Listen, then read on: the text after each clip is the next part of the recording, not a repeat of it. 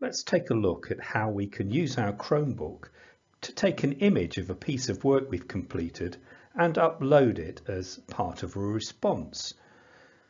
I'm going to start by clicking on the bottom left icon on my screen to open up my app list.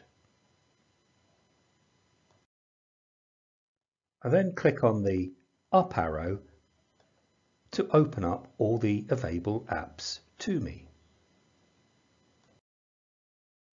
I can now select the camera tool.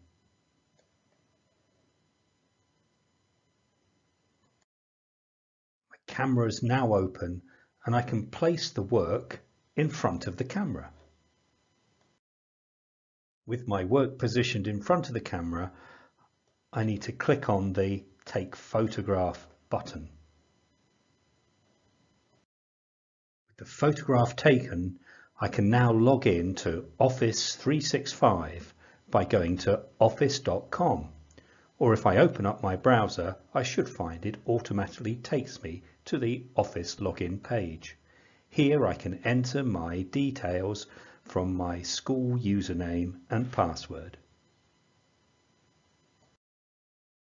I'm presented with the familiar interface of my Office 365 platform. And for example purposes, I want to upload my image to OneDrive, but you may also be using that image as a response to an assignment in Teams or perhaps a file request from a teacher. Now I've navigated to my OneDrive area where I can create the new folder and upload the file. I do that by clicking on the upload button and then choosing files. This will then open my Chromebook files area. Now I'll be looking in images because that's the default location when I take a camera image. I find the file that I want to use and then when I select it I click on open.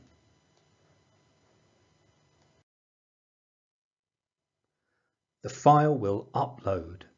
Once it's been uploaded, I can then share that link with a teacher if I, if I need to, or I can use that as a file submission in a Teams assignment.